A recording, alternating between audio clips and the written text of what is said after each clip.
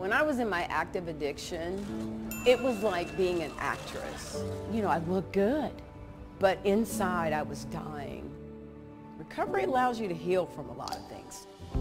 I can look people in the eye today, whereas before I had to look down. And today I look up. Addiction is a disease, treatment is out there, and recovery is possible. And I get to be who I am today. I get to be free.